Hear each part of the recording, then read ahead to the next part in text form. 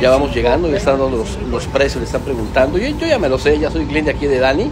Estamos con Dani aquí afuera de Ley Loloa, ¿eh? Está aquí por Avenida México, ya se la saben, a partir de las 4. Aquí la verdad se la rifa mi brother. Ahí va, mira.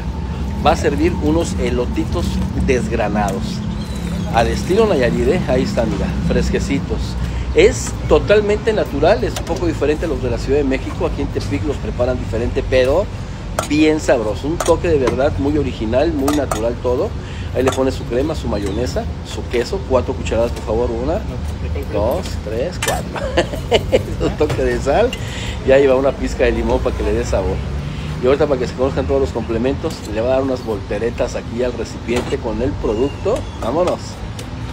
Échale mi Dani, tú puedes. Eso, eso. Con todo menos con miedo, papá, ¿eh? Para que todos quedemos felices y contentos. Ya nomás qué belleza la de Teresa.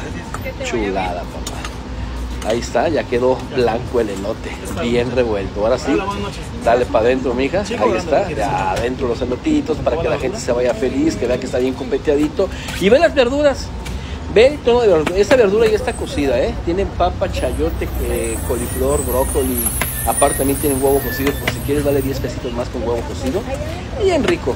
Y allá rellenando el vaso, o sea, todo lo que tenía, más aparte lo que le pusieron su toque de mayonesa y aparte el picante si lo quiere complicar. Sí, como digo, Mira, saboreándose uno aquí.